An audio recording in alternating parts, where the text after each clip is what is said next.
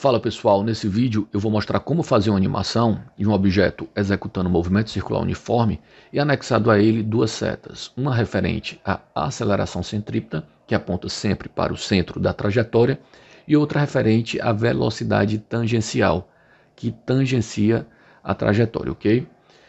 É, então para eu fazer isso, eu vou utilizar esse código, que é de uma bolinha executando movimento circular uniforme, rapidamente aqui falando do código, eu tenho uma bolinha como objeto, que é do tipo esfera, representado por esse vetor, posição, vai ter um raio de 1.5, uma cor vermelha e eu anexei a trajetória a essa bolinha.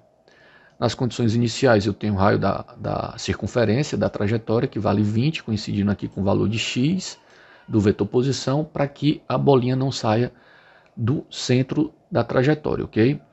E aí eu tenho um período igual a um segundo, a velocidade angular definida por 2π sobre o período e aqui o acréscimo de tempo, que é o tempo de registro do movimento de 0.001.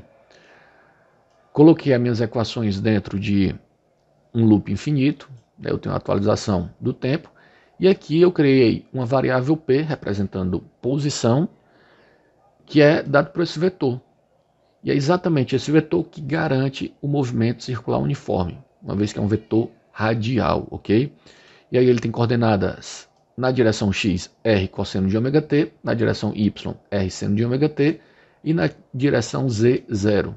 Então, para eu finalizar, eu chamo a posição da bola o próprio vetor P, que garante o movimento circular uniforme. Se eu executar esse programa, Ctrl 2, tá aí, eu tenho um movimento circular uniforme com uma circunferência aí de 20 metros de raio, beleza? Vou fechar isso aqui, e vou adicionar as setas. Para eu fazer isso, vou criar aqui um comentário setas. Então vou criar minha primeira variável referente à aceleração centrípeta. Portanto, vai ser bola.acp de aceleração centrípeta. E aí vai ser representado por esse vetor, que tem coordenadas inicialmente 0, 0 e 0, ok? Para eu anexar esse vetor à bolinha, eu utilizo esse comando, attach underline arrow.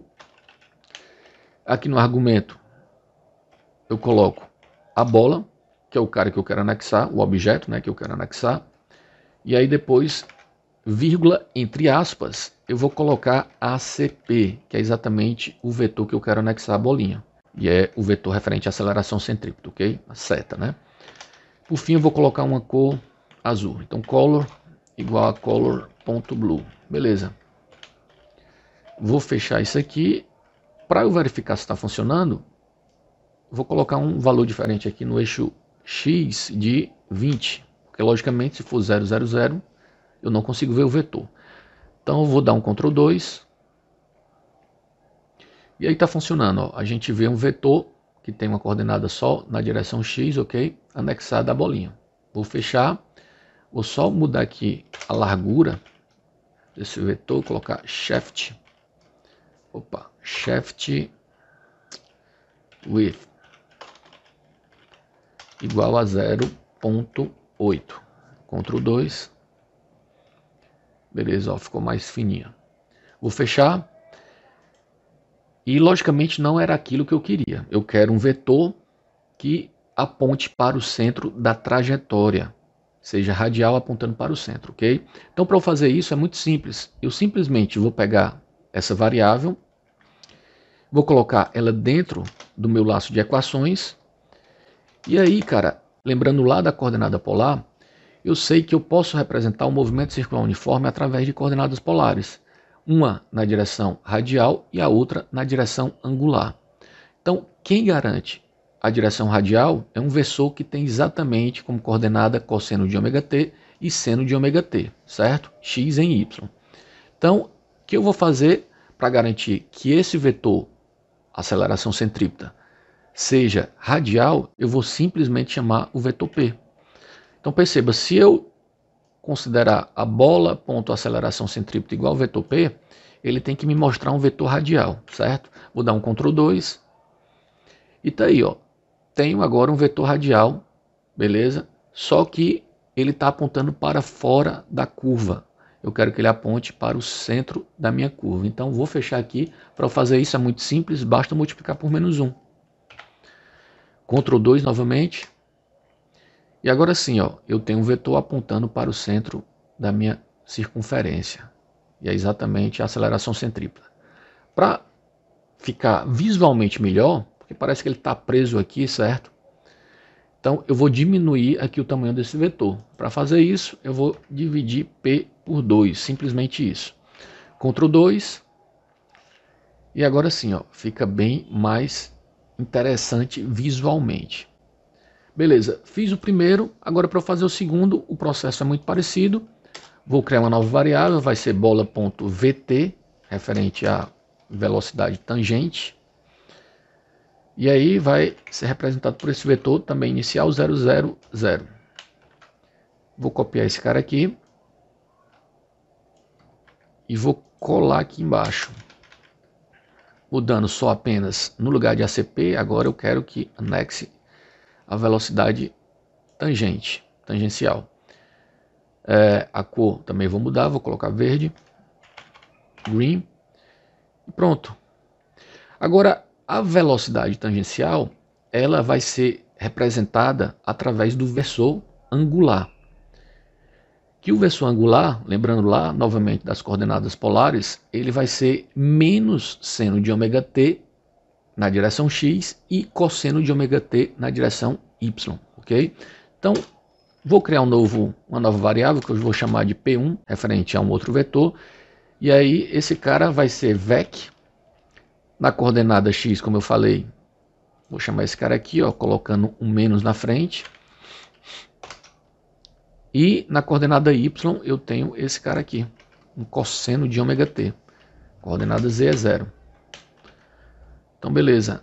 Aí aqui eu chamo a minha variável bola.vt igual a p1 também para ficar pela metade vou chamar eu vou colocar sobre 2 Pronto. Vou dar um Ctrl 2. E olha só. Tá aqui. Eu tenho uma velocidade tangencial representada aqui pelo vetor verde e uma aceleração centrípeta representada pelo vetor azul, né, pela seta azul. Bem interessante. Posso até melhorar um pouco mais visualmente aqui minha animação. Eu vou fazer o seguinte, vou colocar é, o tipo da trajetória, então trail underline stripe igual a pontos. Deixa eu ver se está funcionando. Ah, também eu vou mudar o fundo do cenário. Background. Colocar uma cor branca, color.white. Beleza? Dar um Ctrl 2. É, não dá para ver aqui os pontinhos, porque eu tenho que aumentar aqui o DT. Então, Ctrl 2. Ixi, agora ficou demais. Vou diminuir aqui a taxa de visualização, vou colocar 50. 30. Ctrl 2. Pronto, agora está bem legal. Então eu tenho aí o meu movimento circular uniforme anexado com duas setas, uma referente à aceleração centrípeta e outra referente à velocidade tangencial, okay? que fica tangenciando minha circunferência. Para ficar mais bacana ainda, eu vou colocar, para fechar, um ponto central. Então vou criar aqui embaixo uma bola 1. Bola 1.